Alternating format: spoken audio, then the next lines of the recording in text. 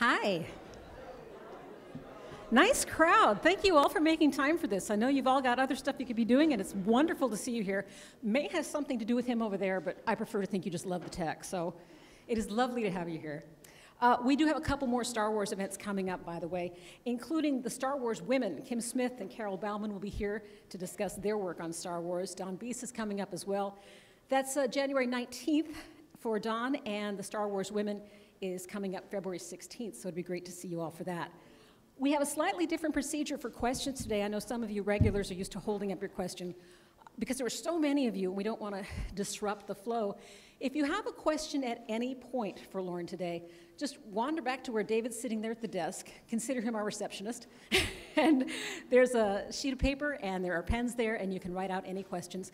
We've got a presentation up front for Lorne. He's going to be doing a little bit of chatting. And then when he and I start doing a Q&A, we'll integrate as many of your questions as you can. And to accommodate those, I'd ask you to try to avoid writing speeches and keep your questions as concise as you can so we can try to get everybody in there.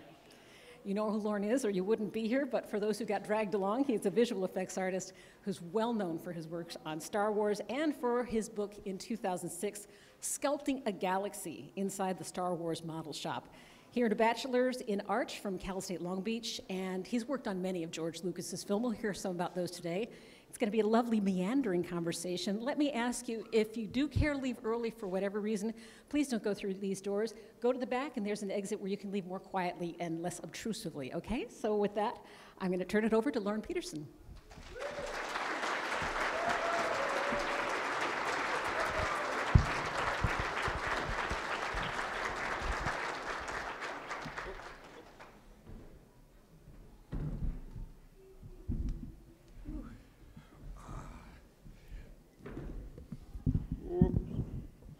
Big crowd, huh? Um, either, um, either you've all got your Christmas shopping done or Star Wars uh, ILM is a really big draw. Either one of those two. now, um, also in the, in the audience, actually, there's a couple of uh, people that I worked with all of those years on the Star Wars series so they're going to be uh, keeping me honest about all this stuff. If you hear any groans or things like that, they say, oh, it wasn't done that way, or that kind of thing. And also, uh, believe it or not, it's been almost 40 years since we started the first Star Wars. Uh, you know, probably half the audience isn't even 40 yet. But uh, so it's a pretty enduring uh, story um, that, uh, that George Lucas came up with. Um, and, for, and 40 years ago, I, I kind of wanted to, uh, I was thinking about this on the way down here, that uh, how chance has an awful lot to, to play in uh, what your role in life is. Yes, you prepare yourself for different things, but uh, like, like me originally, I was just hired for two months to do uh, the Death Star specifically. And the reason I was hired to do the Death Star is because it involved a lot of work on your knees and the other model makers, I think, uh, got tired of working on their knees all every day, and so they hired a new guy, which was was me. new guy. Um, I, I, was a model maker at that time, though. I'd studied art in school and and uh, worked as an industrial design model maker, but. Um, I, I, one of the guys here that I worked with pointed out he thought one of the days he knew that I was going to be staying longer than two months, and that was, believe it or not, I knew about super glue, and they didn't. and um, you have to understand that this is 1975, early 76, when super glue was, uh, you couldn't buy it in stores. You could only buy it at an industrial, uh, for, for, to the trade, in other words. And uh, I noticed how they were working on uh, the Princess's ship is what they were doing at the time and they were taking five minute epoxy, mixing it up, and sticking on little pieces and putting masking tape across it, and then moving to the next one and mixing up five minute epoxy over and over again. And I remember thinking, wow, that, what are they doing? You know, that's, that's crazy that they're doing it that way. So I brought in a bottle of super glue. I put a pencil and cantilever it, cantilever it over the table I put a little drop of super glue on there and I moved my hand and the pencil stayed out, uh, sticking out sideways. And uh, a lot of gasps and it really changed the way models were made. so chance plays an awful lot uh, in the uh, in your role, you know, in life, and um, I, I, certainly was lucky. I and some I never really say it myself, but I've had other people go, "You got to be a kid your whole life," you know, for 40 years, longest job I ever had and will ever have, I'm sure. But, but not just a kid, because there are pressures in your business. You, you have pressure in your business. It's, it's not all, all Oh. fun and games. You have deadlines. Yeah. You have new things to keep up with. Yes, the, um, the the film business is definitely uh, profit run. You know, you, you don't make films to, um, to just to do the exercise. And uh, it's, it's a little, I have a a funny, a little bit of a funny story to tell along those lines is, to my parents, I always had a really hard time explaining what I was doing for work. You know, they knew that I could drive a car and put gas in the car and pay for an apartment. But uh, each time I would explain to them what I did, I could just see them kind of glaze over. You know, it was just, uh, uh, well, what in the world is that? You know, that wasn't uh, anything they related to. And uh, my mother, on maybe the eighth time she'd asked me what I did, she, uh, she said, well, what are you doing uh, this weekend? And I said, well, I have to work on budgets, you know, for the next year. And she said, oh, you're working on budget. And uh, she, I said, blah, blah, budget, budget, budget. And she said, well, well, how much money are we talking about? And this, granted, was way back in 79, 80. And I said, well, the budget for the model shop for this year will be $1.5 million. And she, she gasped, you know, and just stopped talking. And I realized what she really wanted to do was to get off the phone as quick as possible so that she could run over to the neighbors so she could interject the 1.5 million. You know, her son was working on a project uh, that he was working with a budget of 1.5. But uh, right, it is a, uh, it's a serious, it is a money serious business. And um kind of a an interesting thing is that the first Star Wars took one point, uh, $10.5 million to make. By the time we did uh, Sith, the last one, the model shop's budget was more than that. So it, it's kind of a misconception to think that um, the models keep going down and down and down in quantity. Uh, example is seven model makers on Star Wars and about 102 on Sith. So there was just a lot more work. Granted, there were 650 CG artists. So uh, our percentage went down. If any, anybody that had the high school math, percentage went down, but our actual numbers went up considerably. Yeah. Well, how do you avoid not being one of the older folks that the young whippersnapper comes to and says, Haven't you heard of superglue? Why don't you know about that? I mean, has the table turned a little bit? How do you keep up? Well, um, the whippersnappers.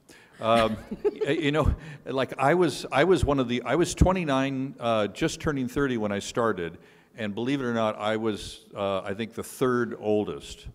Uh, there were only like three, two or three people older than me. Everybody else was in their 20s, from 19 to about 32 years old. Um, uh, then, you know, years go by, you're starting to hire people that are five years younger than you, and then years go by, there's 10 years younger than you, and 15 years, and 20 years, and on down the road.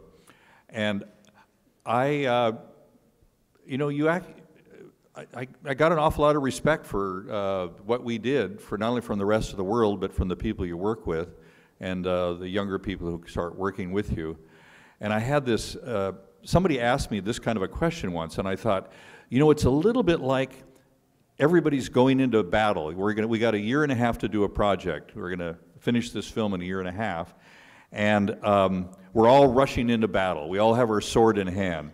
If, if I were to fall to one knee, those people that are 20 years younger than me would help me up, you know.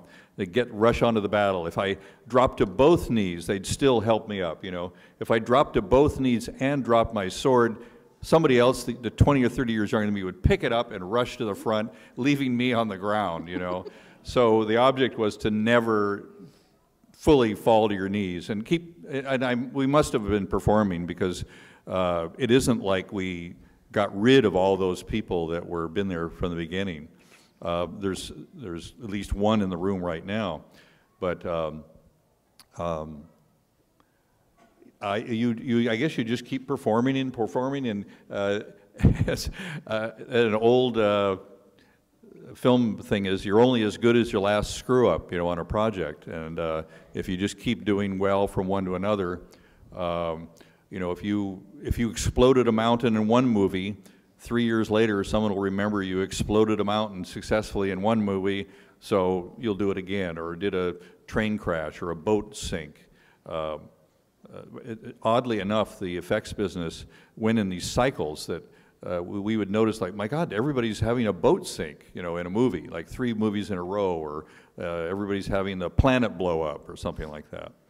And I do have to say that, um, yes, I, I, worked on uh, all the Star Wars and all the Indiana Jones, but uh, ILM as a whole did about over 200 films in those 38 some years, 40 years.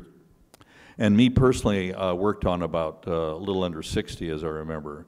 So uh, what I'll be showing here is certainly more than just uh, Star Wars. Do you want to swing into that, or should we talk? What's that? Do you want to swing into that, or shall we talk? Yeah, I have a uh, I have what I call a wow reel. It just kind of gets uh, blood flowing, and it's uh, it, it's a reel of just shots that really emphasize uh, model work. Uh, so there is yes a little bit of CG in the end, but it's uh, CG augment, augmenting models and that kind of thing. So let's let's try the 12. The reel is about 12 minutes long or something like that and I'll make a, a comment maybe once in a while. And the lights will go down, I hope.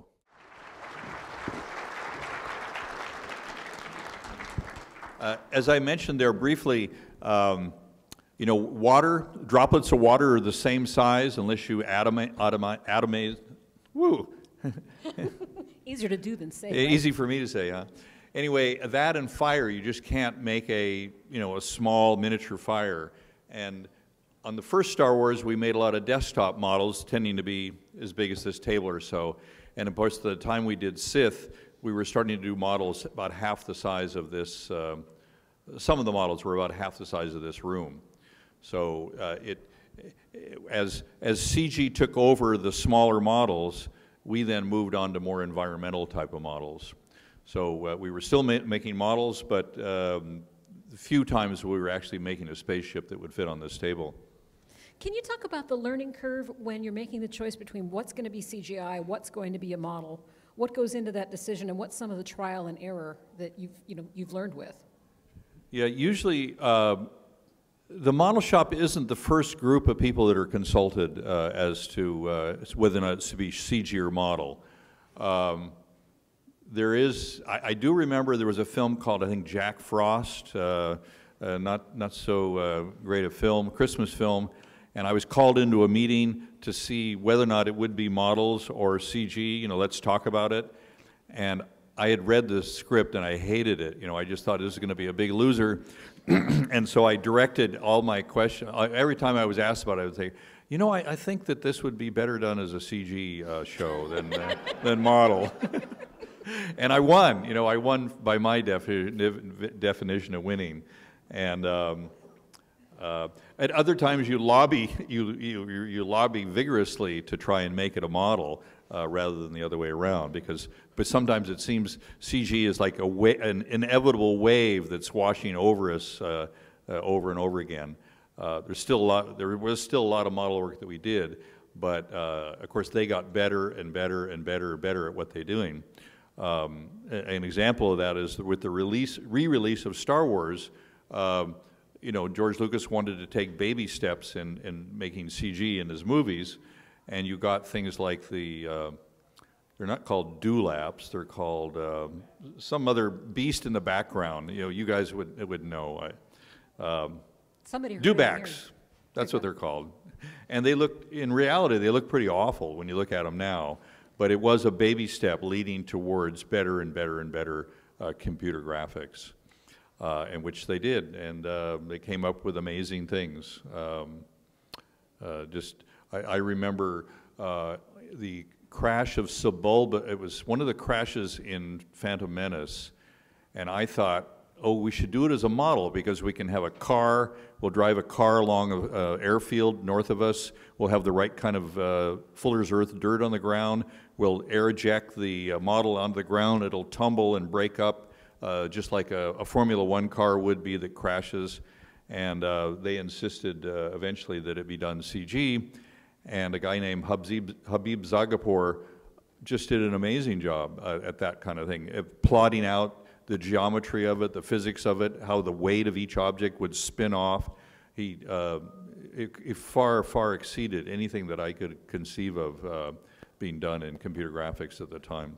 So can you pull out some of your most impressive arguments as to why something should be a model instead of CG? When you've really got to sell that point, what do you rely on? Well, what do you rely on when um, when you're making your case? You, you know, you're always uh, you can easily be outvoted, you know, and that that does happen. Um, part of it you draw upon your old, older experience, you know, what what because we have done nearly 40 years worth of films, and so you can go back and draw upon something and say, oh yeah, you know, when we did this, we did that, and. Uh, you know, there are a number of times when CG people are really on your side too, on the model shop side. It's not uh, uh, everybody doesn't just uh, blindly lobby for their own their own approach. Um, along those along those lines, I I remember in the model shop, say separate from CG earlier, I sometimes would tell the model makers, I say, try to when you're trying to come up with a way of doing something try to semi-abandon your first idea and come up with a second idea or a third idea because we can become incredibly enamored of that first idea. You think of it as being, oh my God, I'm, I'm brilliant. I just thought of this, you know, and you stick with it. Whereas in reality, you might come back to that first solution, but you're, you're better and safer to come up with a second and a third possible way. It makes you modify your thinking a little bit. But um, we, we had to do that quite a bit. Sometimes we would, uh, within the model shop, we would, uh, you know, I'd say, well, how about three different proposals, you know, for uh, the big uh, executor, the big blue ship, you know, what are the three different ways that we could do that? And different model makers would go off and, and pursue the fiberglass one, pursue the honeycombed aluminum one, uh, you know, do the aluminum one, and, uh, and eventually decide on what would be the better solution. But that's within our own group. And, and I have to say about, you know, when we, we all call ourselves model makers, but in reality it had an incredible range of skills. Uh, you know, when there were seven of us, we tended to both make models and paint them and sometimes do the machining, although we had a machine shop.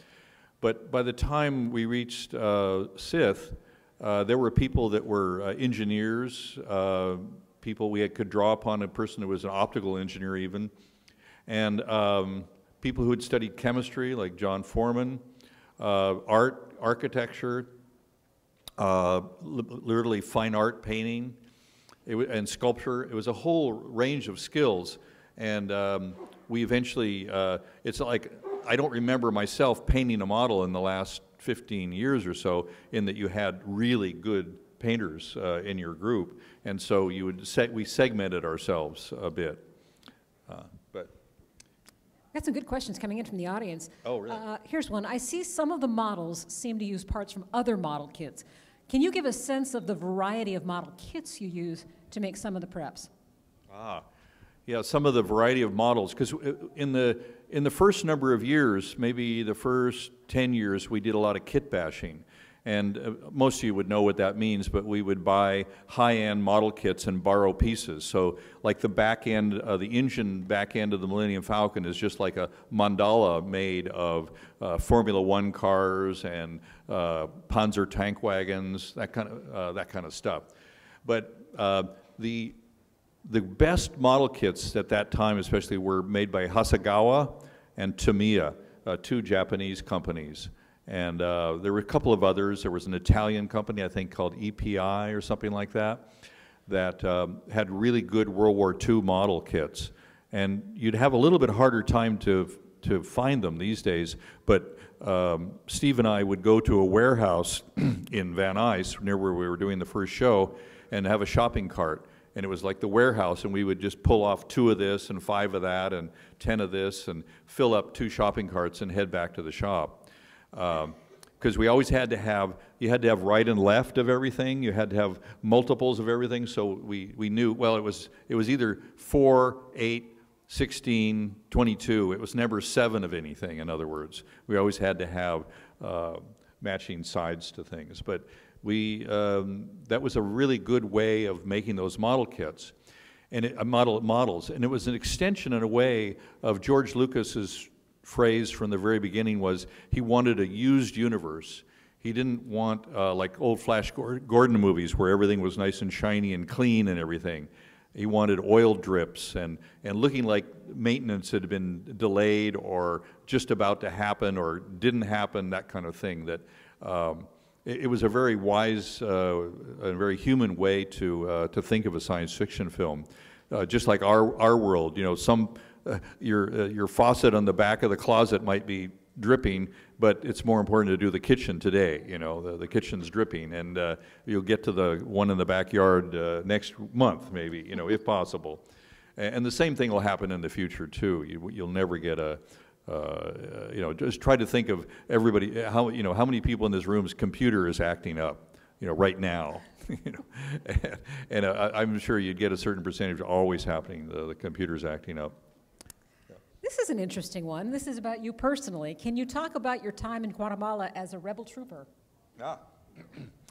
yes, um, I was the, the rebel trooper uh, up in a tower on the uh, in, a, in a pyramid in Guatemala. And um, of course, there's always longer stories. I, I, I, hope I don't make them too long. But um, the studios, uh, we were almost through making Star Wars. It was, I think, March of 77 and the film was coming out in the summer. And uh, this George wanted, he saw a picture in National Graphics. He said, that's what I want to do uh, in the pyramids in Guatemala for that shot. And the studios at the time, thinking money, money, money, money, you're spending money, money, money. Uh, how about using uh, um, uh, Adventureland in Disneyland? you know, and it was like, you know, if you got up high to do a high shot, of course you'd see the parking lot and the mechanisms, and it was just like the silliest idea in the world you'd ever heard in the world. Uh, and if you just wanted a low down shot, you could buy a bunch of tropical plants and do it that way. So um, eventually the studio um, conceded the fact that it just wasn't going to work that way. And so they, they said, we'll only pay for two people to go to Guatemala and I knew that both of them didn't speak Spanish, and I speak a little bit of Spanish. And so I, it was like, I, I, I volunteered to go. You know, I said, I'll go. I'm not working now. I'm off of the project. And um, th that they wouldn't do that because insurance purposes and everything. So eventually I just took it on myself, got a plane ticket, and arrived in Guatemala. And uh, it was fortunate that I did because uh, I think we had something like 13 cases of camera equipment that all had to be pulled by ropes up the side of the pyramids, which were all covered in jungle. At that time, the jungle was all covering them. They weren't, uh, they weren't empty of, uh, just down to the stone. And then when we got to the top, we built the tower, and they had to have a cameraman, and they had to have a, a machinist, a camera assistant. And uh, eventually they said, well, there has to be somebody in the tower, too, because we brought the costume with us. And I was the only one that didn't have kids of, of, of the, uh, the three of us. And it was, uh, it was off, I don't know if you know, but Egyptian pyramids are made at 52 degrees, and uh, uh, you could, uh, Mayan temples are much steeper. And so it was about 300 feet down off the edge of the cliff from where the, uh, the tower was that we placed. So you had to sit up there and wait for it to steady, you know, because you'd get up into it, it would be rocking, and then you'd say, okay, calm down, calm down, calm down, and, until it stopped. But, but that was how I happened to be in that particular shot. And it turns out that um, there's many shots in the Star Wars films, including Indiana Jones films. You know, we need a hand pointing at the book when he's a professor in the library at the Well of Soul, uh, the uh, Ark of the Covenant. And so they just ask, uh, we need somebody who has a fairly large hand, but no hair on the back of their hand, and you know, um, a fairly young-looking hand, and um, you know, the guy comes forward and he says, "Oh yeah, okay, put on this suit." and point at this book. And, and we, many, many inserts, they're called inserts, are done like that. They just, we would find somebody that fit the physical description.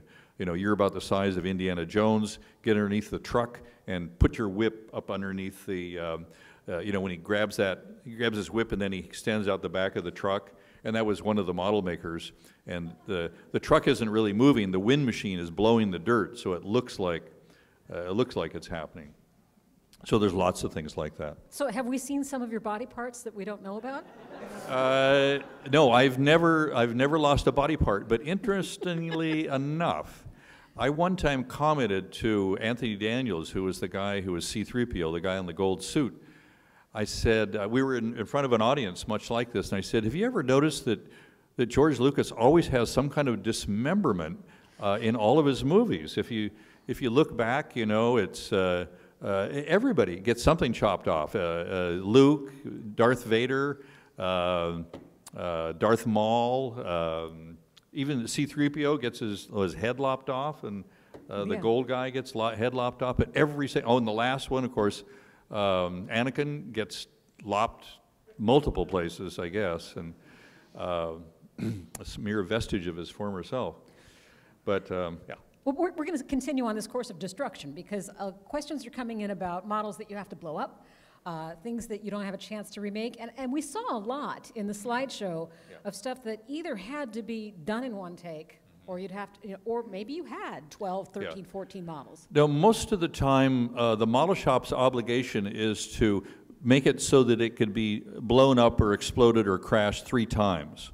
But it gets very expensive to do that, of course. Um, excuse me. Uh, models, uh, I, I sometimes, you know, very, over various time, money means different things. As 40 years ago, it means something different than it did then. So I tend to say, well, this model was like a, a Toyota Corolla, and this one was like a BMW on the low end, and this was a BMW on the high end, and this was on a Ferrari on the low end of cost. You know, and that's that's how I kind of uh, would tell people how different models would cost. But they, you know, they always have an air system, they have a mechanical system, they have an electrical system, and a cooling system built into them. So they're a little bit like a, a custom-made car, many of the models. Not the, not like the uh, the pod that C-3PO uh, and R2D2 drop out of at the very beginning of the film. That was like a, you know, a one-week wonder, I call it. I think we uh, did that, uh, shot it one, we made it in one week, one or two weeks, and then shot it the next week. So it was a very inexpensive model. But um, the blowing up things, uh, many times the expense is just too great. Uh, an example in Polter Poltergeist, we had the, the house that implodes. And um, we, we built it much like a kite. So it had very little volume, very little uh, weight, and could be drawn down in and uh, into a, uh, by wires down into a, a funnel and vacuumed. But they had asked me, so well, it's, uh, can we do it again? And I said, well, it's going to cost exactly amount, the same amount to do it over again as it did the first time. There is no benefit uh, to by doing three. And at the time, it cost as much as a, uh, a, pretty inexpensive tract home way out in the valley um, to make that. So you know, we're talking maybe uh, by the time it gets uh, shot and everything, $100,000 or something like that to do the imploding house. Wh- Why are you not getting economies of scale? Because you figure the first time you're doing engineering that you may not have to reproduce. You're doing, Uh, you know, well, labor- it's still like uh, building a kite. Yes, you've uh, you know how to build the kite well uh, by the second time, but everything has been crushed and and uh, maybe there's a few little bicycles in the garage and a lawnmower and a rug here and there that you can use, but you still got to build all the two by fours and put the drywall on it and you know construct the thing. So it it didn't have uh, the economy of scale like you talked about. Um, other times. Uh, we did do three times sometimes, but it, the, the ones that really come to mind that you couldn't do three, you can see with the train crash from Back to the Future. Uh, that train was probably about uh, at the top of the smokestack from the table. It was probably about this high, the body of the train about this high. And it was an expensive model to make and to take out to a quarry and, and blow off the end of the thing. And you saw the way it crashed, there'd be nothing uh, to be saved. And so it's one of those ones where we all grit our teeth and hope and make everything possible work correctly, ask everybody, is the switch ready, is this ready, is, you know, and do it once. And had we had to go back again to do it again, uh, it would have been uh, equally as expensive as the first time. And studios don't like to hear that. Um, but you, you do have to grit your teeth a bit to make that kind of a gamble. Uh, and it's, it's, it's a money, money thing. You know, there's, a, there's an absolute joy of um, sometimes making models, sometimes pain, but a lot of joy. But other times, uh, there's the, the tension also of trying to deliver uh, something on time and on budget Can and the right quality. Can you remember any particular cases that come to mind where you're looking at the screen at your own work and you're saying, God, if we were only able to do that one more time, if we could have just done the model, done one more blow up, one more accident, whatever, where you would have done something a little differently? Well, there, there were a couple of times, but um, fortunately not our fault, my fault, and not the model shop's fault either. Um, in um, Rocketeer, you saw the big dirigible, and um, there's, it's a long story how it happened, but the controls got mixed up. The, the A, B, A was put at uh, Z and Z was put at A kind of a thing. It's a simple, and what happened is when the wires were cut and it, it was supposed to explode, wires cut and then explode just instantaneously, but really what happened was the wires were cut, it fell from frame and then exploded and the flames came, came up into the scene. So that meant that that whole model had to be redone. And um, it was about 30 feet long, 25, 30 feet long. And here, the, there was an economy to it in that we had designed it using a laser cutter. We had a very large laser cutter, about uh, four foot by eight foot. And so all of the stations and everything were all in the computer. So even though the first one cost an incredible amount of money, the second one was done very quickly and, and cheaper, but not as quicker, maybe cheaper because it involved a lot more model makers. I'm not sure uh, Steve back there would know uh, about the cost of the thing, but uh, we had to redo it because it, it screwed up. You know, it just it didn't happen. you couldn't just say that was an artistic choice. Yeah, you know. it wasn't uh, the imploding house. It would have been better to shoot that one more time uh, because the exposure was a little bit off. Uh, uh, but it's it's very rare, and and usually by the time uh, uh, they say wrap and you're through, you're so tired. Uh, because you not only do you make the models, but then that person usually then travels on with a team to the stage to operate the model. So, and that involves many, you know, many, many 10-hour days and um, kind of doing your stuff and then waiting, doing your stuff and then long waits, doing your stuff and long waits. So you sit in the dark on apple boxes, waiting for the hour and a half to go by of the shot until you do your action again. So um, usually by the time a shot is done, you're, you're ready to have it done and you're out of there. What's the best model work you've done for a really bad movie? And does good work in bad movies get recognized?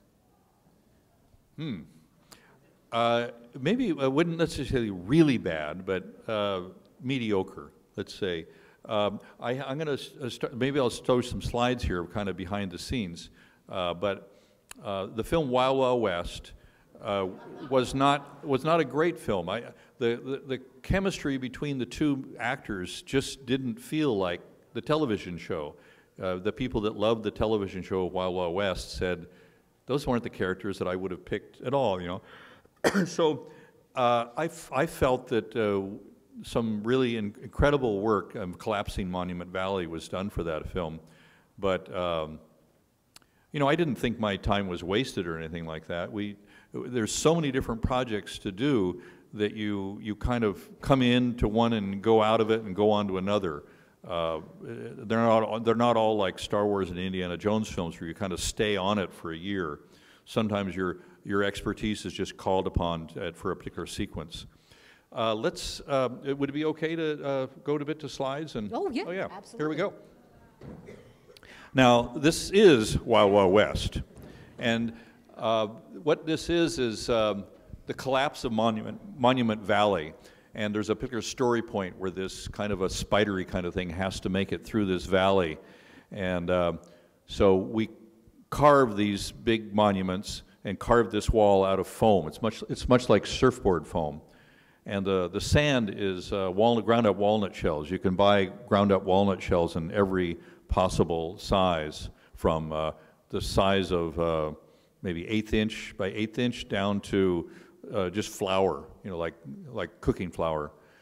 So, but the trick here was that um, rocks, do, big giant rocks don't bounce. And uh, foam rocks bounce terribly. So the trick is to figure out how to make Uh, go to the next slide. Oh, I'm the clicker. I'm the clicker guy. Sorry. ah, there we go.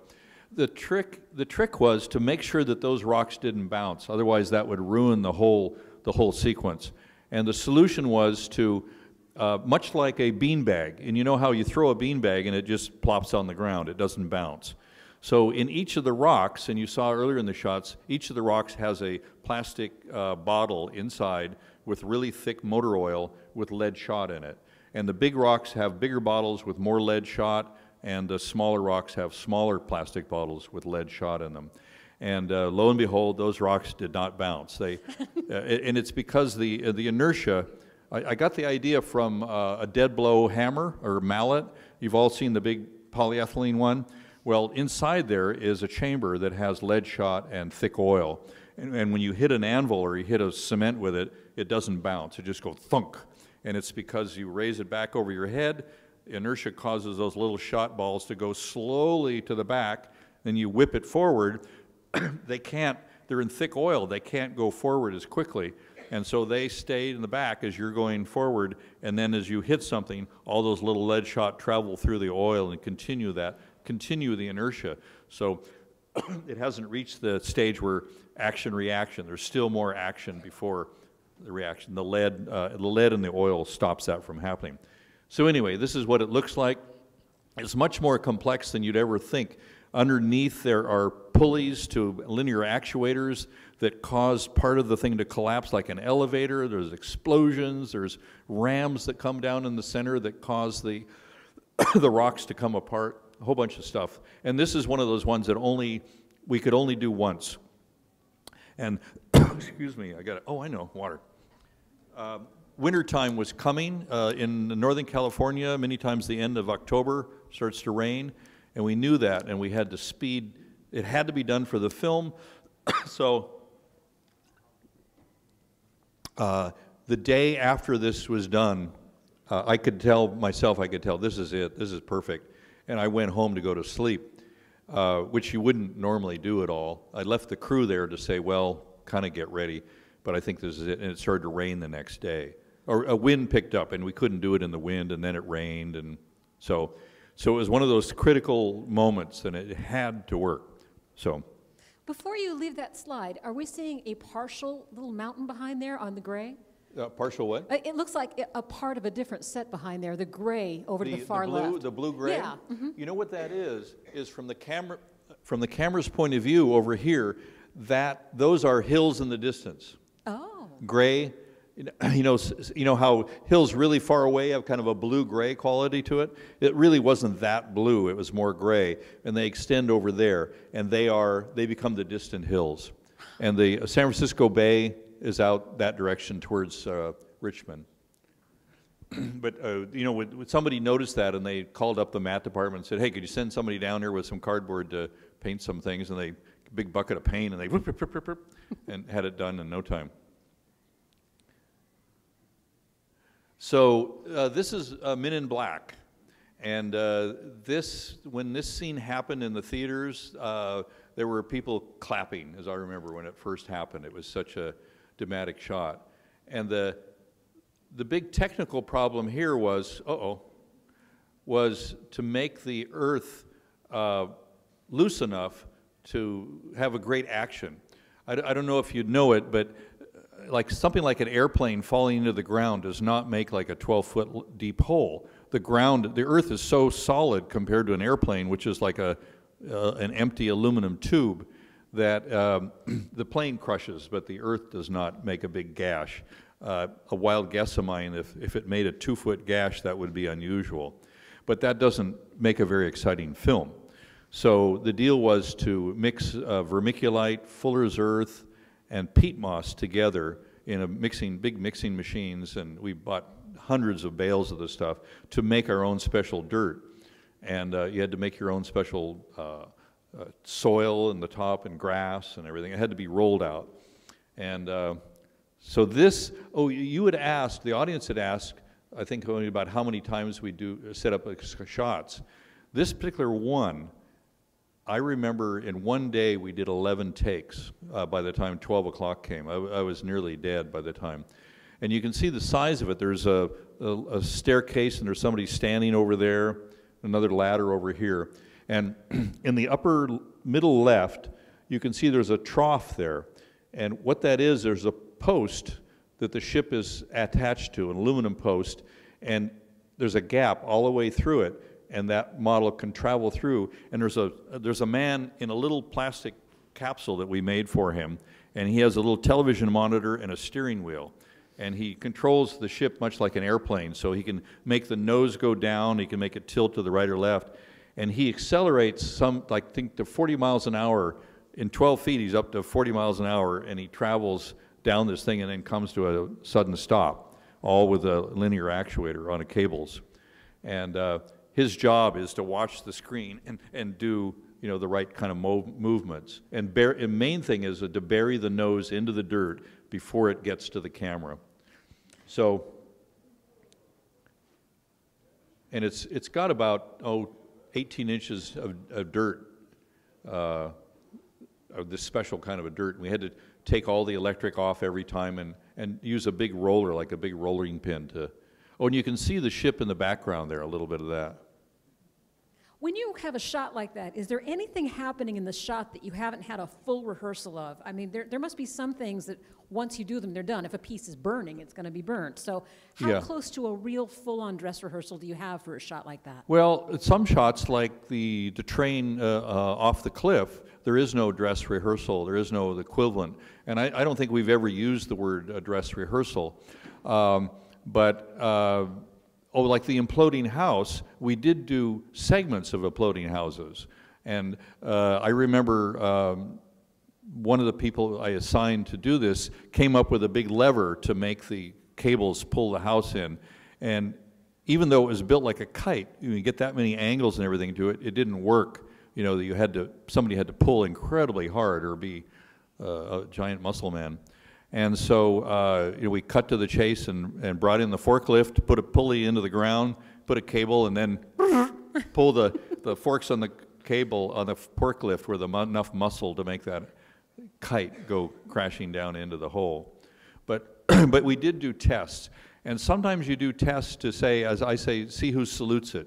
You know, because you call in the cameraman, you call in the, the supervisors, and say, you know, here's our demonstration.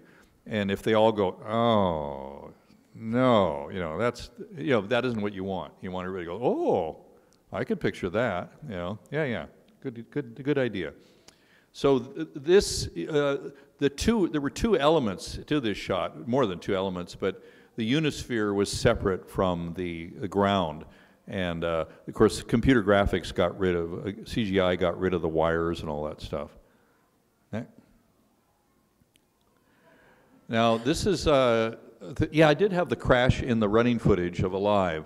And uh, this is a guy smoking up the set. And in the foreground, the, the rocks are all pieces of coal, and coal looks perfectly good scale. It looks like good mountains and, and baking soda, uh, well, with plaster in between to make it really, and on a steel framework to make it so it didn't vibrate. But, but this is what the rig kind of looks like. The cameras on one, the airplanes on another, and they all run along these uh, tracks.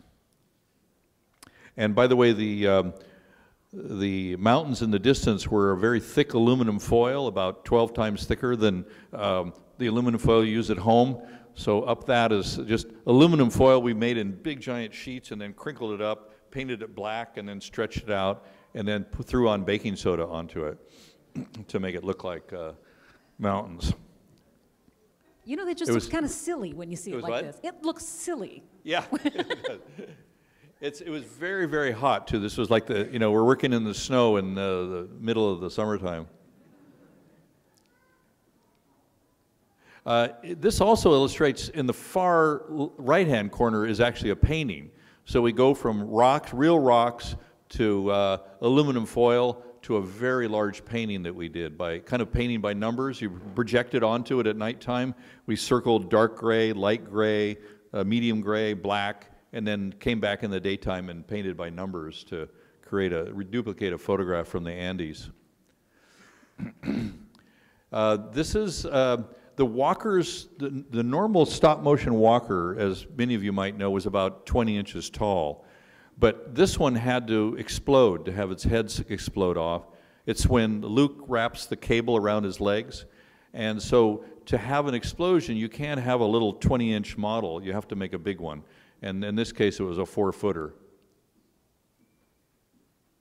Uh, I also, there's a, there's a section of three there where this happens. There- The cables have already been cut from the top at this time, and it's ready to fall. And sometimes things don't go right.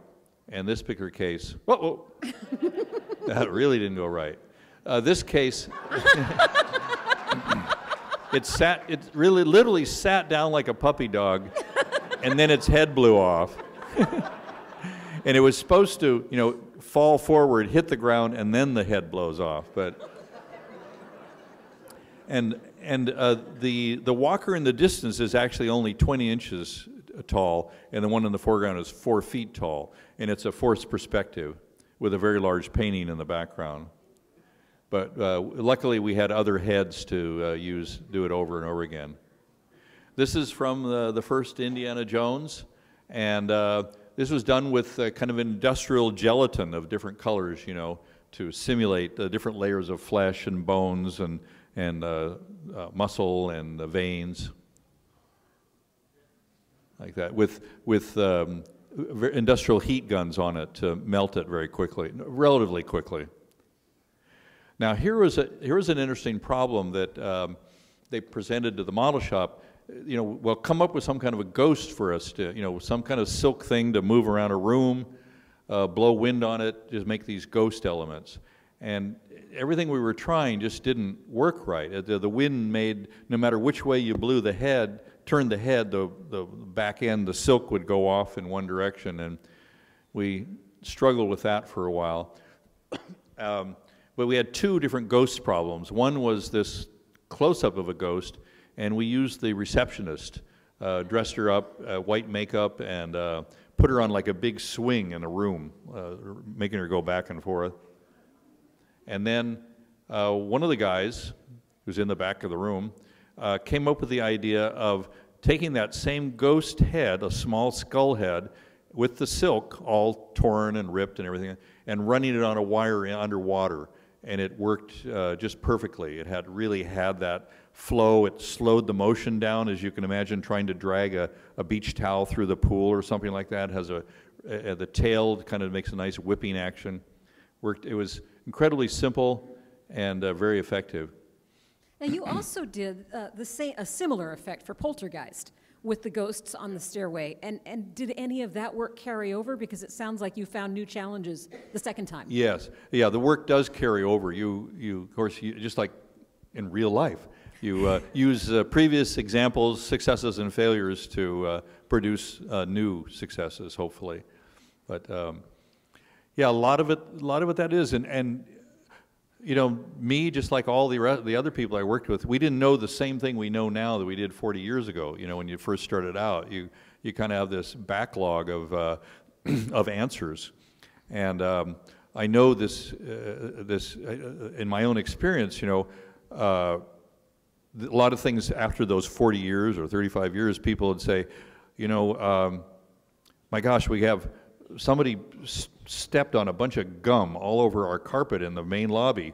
Why don't you go back and ask the model shop what they could do about that? You know, and then we had, I remember I had we had an answer, you know, and and uh, the woman said, "Gosh, you know, you guys seem to know everything about that kind of stuff." And I said, "Well, you know, sometimes, uh, you know, things that are hard for you sometimes are easy for us, and vice versa. You know, uh, you know, if I needed computer help, I'd go forward and get some computer help. You know, but that you do have the gum is just a silly example, but you do have a long, uh, a a long history. Uh, although here's a here's an interesting story that a little story. Um, when we were going to do, um, oh yeah, when we were going to do Poltergeist, uh, that, back then we would sometimes sit around a table. Uh, and Spielberg was one; he had come up north to, to see us, and we sat around a table with a representative from each department, and about 12 of us in a, in a circle. And Spielberg would just turn the pages, one page after another, and say, hmm, this looks like a matte painting. What do you got to say? And turn the page. This looks like an optical, you know, that, what do you say? And when we got to the imploding house, I, I remember hearing about the imploding house and seeing a picture of it while they conceived of it. And uh, I, he, he's turned to me and said, well, what are we going to do about this? And a model shop. And I said, well, Will, do you know how a magician makes a, a flower bouquet come out of the wand of a, a magic wand? You know, it's really a folded up tissue paper bouquet, and he goes and pops it out. And we'll just do it the opposite way. We'll take the bouquet and draw it into the wand. He says, okay, next. So it was like, he didn't want like paragraphs of an answer. He just wanted to know that somebody's got it covered, you know, that that's, uh, and he was satisfied. Yeah, I could picture that. Like a, and I hadn't really thought it out by that time, but that was a reasonable analogy. and it, uh, it, it, did what it was necessary to go on to the next project, next part. Now, this was, uh, again, Temple of Doom, and it's a water project, a water uh, effect. And uh, it was uh, probably about two Volkswagens worth of water came down this chute. And, oops, this is a bad, there. this is how big it is. It's inside of a very large sonotube, about the biggest they make, four foot diameter.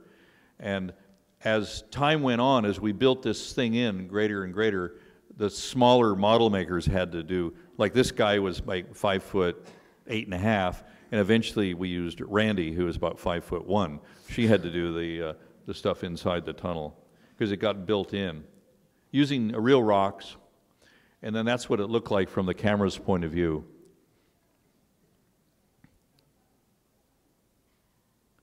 Now, this was the mine chase, and I didn't mention it when we were watching the footage, but only the close-ups of uh, the, India, the main characters are real. The rest of it is a, is a model. So, and the characters in the, in the little uh, uh, mine cars had to be manipulated every frame by, this is Tom St. Amand, um, one of the animators. And so he would, he would move the models a little bit, then he would step away, another frame was shot, he would step in, move the models a little bit over and over again to make the action. Uh, this is again uh, a time when uh, bent aluminum foil, 12, 12, times thick aluminum foil, splattered with uh, Durham's rock hard putty and paint and all that stuff. Also, somebody, uh, one of the cameramen came up with the idea uh, for that camera, which was a modified Nikon. And it's, it's one of those things, everything seems like the seat of your pants. You know, we were thinking, well, how, somebody was had to be thinking, well, how are we going to film on the inside of there? How are we going to get the camera, a big camera to move around inside there? And so he said, well, why don't we just mechanize the Nikon, put a big magazine on the back side, and we'll have electronic controls, and we'll put it on a little mine car, just like the mine car, and draw it along a wire. There's actually, if you, you could maybe see it, there's a wire right there. and it's a, a, steel wire that draws the thing down on two capstans, much uh, made out of a fishing reel. And so it would draw it along with the, the mine car. It was a, a very brilliant, actually I think he got a Technical Academy Award for that because it, it has all kinds of movement like a real camera. It, has, it moves on its nodal point, which is the, the focus point of the camera. It tilts this way and tilts that way and rotates and does a lot of stuff. But the guy got a, a Technical Academy Award for that. Now here you can, you can see that aluminum foil from the back side, and, and we could cut into it in certain, way, in certain places where we want light to come in, and it was very versatile. Also, we used um, brown paper, crinkled brown paper. I think on the left-hand side is just crinkled brown paper splattered with uh, mud-like stuff. Now, if we knew what we were looking for, we know that the people, obviously, in the miniatures aren't real. Are there other elements when you do a miniature of a, one of the rail cars? Is there something that you just can't translate from a live one to a tiny one? And if we knew what to look for, we could see the difference between the two? Well, there probably are, but you know, it's, it's, it's like impressionism that we're after. So to, for you from the camera, from the spectator's point of view, um, you know, we want you to believe it and all that stuff. So we certainly cheat and modify and do little, do little things. Um, I think for the most part we reproduce things exactly, and, and sometimes the best way is to make the miniature and then have them live action copy us, not the other way around. Because uh, many times the, not to denigrate the people who are making big props, but they, they tend to think of it on a bigger scale and thicker and less super sharp and precise. And when you're making a model, uh, you can't just kind of have these roundy kind of their shapes. They have to be really defined so that they, they look like they're big. So it's better to, for us to hand uh, models to live action. As uh, an example of that was the, um, the Probot on the first Star Wars that comes shooting into the snow. Um, we built that about, oh, 18, 17 inches high, and then we sent it off to England for them to duplicate. And um, that was a much better way. And, and, in fact, we did that because the producer threatened us. He said, you know, if you guys don't finish that really quickly, I'm going to have the, or if you don't start it really quickly, I'll have the guys in England make it first. And we like, oh, oh no, we don't want that to happen. So we uh, assigned a couple of people to do it. Uh. Now, this is again the coal trick the coal with aluminum foil with baking soda and uh, on a steel framework. Oh no, uh, not even a steel framework this time. But the, the and the plane is about, oh, 30 inches in wingspan, something like that. And the trick here was that as the wheel hits the top of the mountain, it um, is supposed to hit the snow and um, you know, they barely hit it. And the problem is if you take a little plane that 30 inch wingspan and light and everything and hit the snow, uh, it'll jiggle, and we didn't want that to happen. So we put a, a really long needle on one of the wheels, on the lower end of the wheel, and inside the mountain, in that mound, is a, a balloon about six inches in diameter, and, and then a, a bungee cord going down inside of a tube, about a, oh, a four-inch diameter tube, so that when the plane hits the, the needle hits the balloon in the snow, because it's covered with snow, it'll explode, but all the balloon and everything else will go zooming down on the inside of the mountain. So you won't have the balloon flying into the shot. So, so the plane's like that, and that's that's what it looks like after the plane has exploded the balloon, and you can see it. It blew the the, the snow into the air, but you didn't have pieces of balloon flying into the air, and the plane didn't jiggle. And uh, I, I don't you might be able to see the wires in this shot, but I'm not sure. But the plane runs down on wires. This is on top of the roof uh, of the building, one of the buildings that we, we many times did uh, on top of the roof, hoisted everything up there. And now here's a, this was a problem for uh, Phantom Menace. And the way George Lucas conceived uh, C-3PO was that he was created by Anakin uh, when he was a boy. Uh, he was a, a brilliant kid, I guess, you know. So he figured out, well, it had to be semi-transparent because he isn't really through. It doesn't have all of its skin parts on it. And um, so that presented a problem, especially for Anthony Daniels, who was the guy that was supposed to be inside the suit. He thought he was going to be cut out of the picture. Uh, major disappointment there.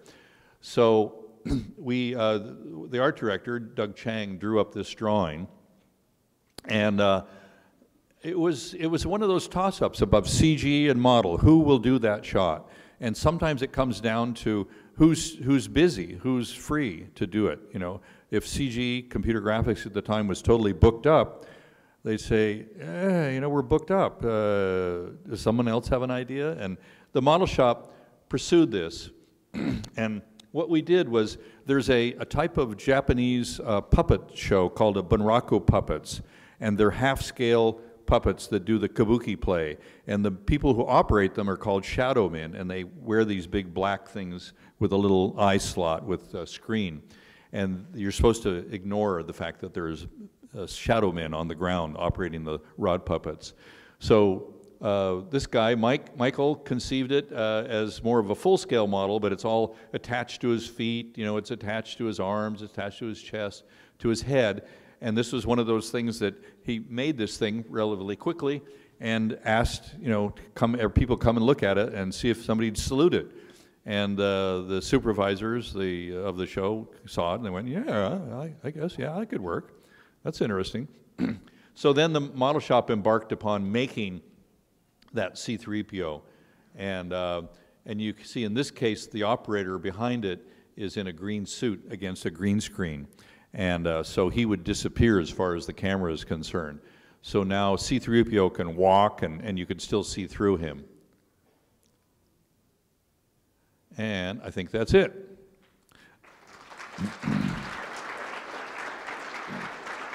It's,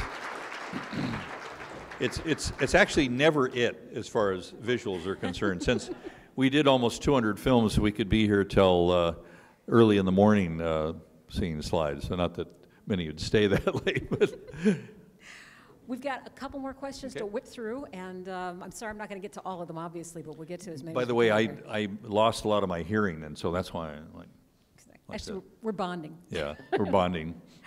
Were you involved in the scene from Jedi where the Scout Walker is crushed between two large logs on ropes? Oh, yeah. Yeah, can you talk about the challenges there? Yeah, the, um, it's the, uh, the Ewoks cut loose the ropes and the big, uh, the big, oh, two and a half inch diameter logs come and crush the head of what we called the chicken walker. And the, the difficult, the problem to be solved there is that if you made the head out of plastic, like we would normally do, you know, plastic has this memory to it and it bounces and, you know, uh, try to throw down a plastic uh, Coke bottle, big Coke bottle, you know, and it boom, bounces and things. It doesn't really smash, you know. You, you have to throw it really hard to get a hole in it or dent in it. so uh, I, I went back to uh, some old experience of mine, even before I was working on Star Wars. Believe it or not, uh, one of my jobs at an industrial design company was to make the original pattern for motorcycle helmets. To, when they first started having helmets with a jaw on the front, and you don't think that that would happen these days. It wouldn't happen this way. But I would sculpt them, you know, and I had rigs and, you know, it up and a thing, and every day I would like, you know, feel it and think, oh, it's a little bit, leap, a little bit more material on this side, a little Bondo, week after week of trying to get the thing perfect, because then I would work for a week, they'd come in and judge it, you know, and they'd, they'd say, oh, yeah, it should be a little fuller back here, a little more. But anyway, the process we did to make those motorcycle helmets is we took the sculpture that I did and then put a special silver coating on it and then plated nickel on it, so the nickel was over an eighth of an inch thick. So that, and then that was buffed out and polished, and that would be the pattern for the people who manufactured the helmets somewhere. and so I remembered, ooh, you know, if you only plated the nickel very, very thin, it would be like a tin can. So that's what we did. We made that head in plastic, and then we took it down to this company in LA that uh, I knew that did the nickel plating, and they plated it with just enough nickel to be like a, a thin tin can, and then we used acetone to eat away the plastic on the inside. So we had multiples of those that could do it, but we knew that when those logs came and they were loaded with lead, they would crush it like a can, but also on the inside, we actually had the two pilots. Uh, they never did show up in the film, but we had a light. We had, you know, all kinds of things on the inside of the thing, just in case it split open like a, you know, burst open. But uh, that was how we did that. Uh, quite a, it was quite an effective shot. And that chicken walker was probably about a little bit under three feet tall, is how tall it was. It was a very f- fun, fun shot. yeah. Can you describe a spectacular failure that you've experienced in your work? Uh, what kind of failure? A spectacular failure. failure. Well, it, it, it actually sounds kind of funny, but there weren't that many of them. And um, um, uh, part of that is, is that, that thing of, you know, gritting your teeth and knowing that, you know, $20,000, $30,000 is on the line. Um, you know, you can't just kind of shrug your shoulders and come back to work the next day after you've wasted $50,000. So, um, but uh, you know that the dirigible falling uh, was a very expensive model, and uh, it gave everybody real pause for thought uh, about what that what that meant. But fortunately, it was not the model shop's fault, so it was somebody else's fault. Can we look ahead to new Star Wars movies? Well, uh, for sure. They uh, Disney uh, now has the rights to Star Wars, and they're madly working away. Um, you know, I personally uh, was called in to consult really early on, but it, really what it meant was going through the archives where all the models were, and uh, since I'd worked on all of them. Uh, you know, they, I could say, this is this and that's that, and this is right and that's wrong, and, you know, that, that, that's what they wanted. They wanted to just take the crew or the, the art director, the, uh, production designer and the director and all the producer and all that kind of stuff, and kind of do a refresher course in models. But uh, I'm certainly not privy to uh, exactly what they're going to do. Uh, I read on the computer just like you do, uh, little tidbits here and there, but you know, I haven't I haven't really heard of sets being built. I've heard of a rumor that a large Millennium Falcon is being built, but but I also know from the past that uh, there's a rumor mill. Publicists are paid to put out rumors that become free publicity. And uh, I remember I was telling somebody here that it was something like four years before uh, the last Indiana Jones happened, they were talking about, you know, the Indiana Jones this and Indiana Jones that, and it never happened. It never, you know, they're going to shoot this, they're going to shoot that. And I knew that all they were doing was fishing for free publicity, is what they were doing. So, So if there I were a don't new. Millennium Falcon coming, you'd know at some point because you'd have to start working on miniatures and, and Uh, models. you know, I, I personally have retired. I wouldn't be working on miniatures. I thought you still had the inside track. Well, uh, the, uh, the, the thing on the computer that I heard was that possibly, maybe, somewhere in England, they are building a force, full-size or, or four-fifths scale Millennium Falcon. But uh, it's not that they've shown photographs or anything, and, you know, you take it with a grain of salt. You don't know, is it true, or is that just a rumor that somebody started, you know? But I, I don't know. And there's always rumors about that they will use models on this next uh, film, and then there's other rumors that they won't, you know. And um, they are setting up a model, another model shop in, uh, in England, but then when the director comes back to California, will they then use the old model shop, which is now called uh, 3210 in, in Northern Cal, in, we are in Northern California. Sometimes I'm, sometimes I'm different places, you know. Um, But, uh, yeah, come up north to Marin and do some more model work there, which everybody is hopeful there. But, uh, you know, they're not going to call me up and let me know what's happening. Thank you. This has just been wonderful. This has just Oh, been good. great.